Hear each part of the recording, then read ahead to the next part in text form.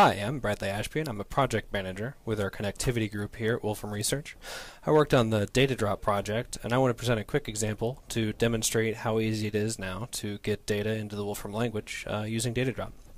Now, I'd call myself a novice when it comes to programming in any language, uh, so this example is definitely an uh, if I can do it, you can do it situation. Uh, we also have this quick reference set up uh, to help familiarize new users with DataDrop's functionality. A while ago, there was a post on the Wolfram community site about how to use an Android app called Tasker to send data to the Wolfram data drop. I thought this was a pretty keen idea. Tasker is a highly programmable app that provides access to the treasure trove of data that is collected by smartphones.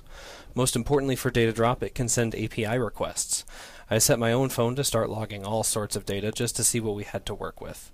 Uh, the community post here has details on how to set this up uh, but I have a screenshot of the data that I've been collecting on my own phone. So next I set up a data bin uh, with the appropriate data semantics uh, for these values that I will be collecting. This is pretty similar to how you define parameters for an API function uh, as a, an association of keys and interpreters.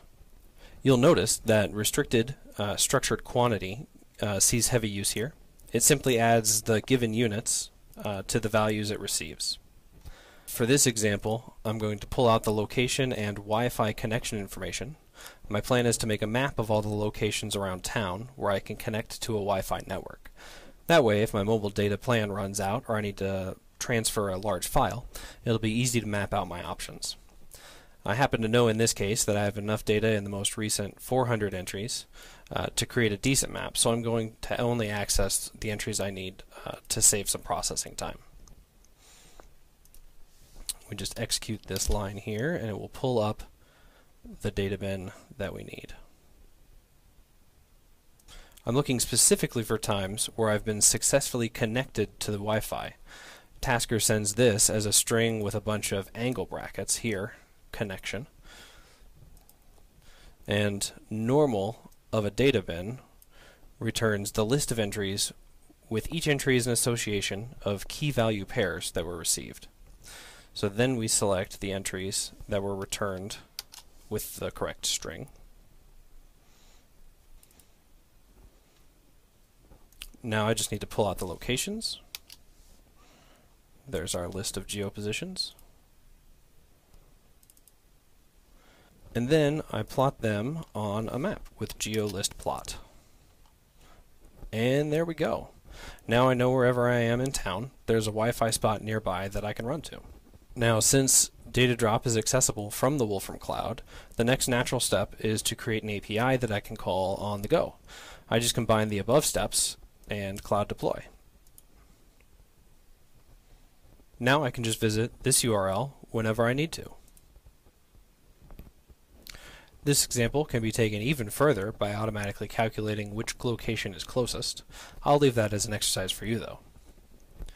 Uh, I decided to use Tasker to fuel this example because it illustrates two strong points of data drop. One, with data drop, all it takes to get data into the Wolfram language is a simple API call. If you're making a do-it-yourself application for personal use or one for commercial reasons, it's very simple to start collecting data. If you can make a post or a GET request, you're ready to start. I used an Android app for this, but you could build this into websites, apps, or directly into a device. And then second, by defining data semantics for my data bin, I not only had access to the data from a smartphone, but I was able to give it more value as it came in. Uh, the latitude and longitude coordinates, for example, were just sent as strings before they were interpreted into geopositions by the Wolfram language. And now they're ready to be used immediately by all of the geofunctions that are already built in.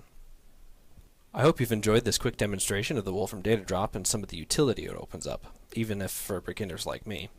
If you find any other examples or have any questions, please post them to the Wolfram community site. I'd be excited to see them. Thank you.